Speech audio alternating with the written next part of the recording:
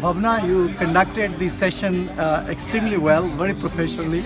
I met you yesterday first, and uh, and I must tell you that we got excellent feedback from our team, and we wish you all the success. And I'm sure that if you have ladies like you conducting show, and you will bring new enthusiasm to the program, and uh, and I'm sure this is this is just our beginning of engagement, and you're going to have many more.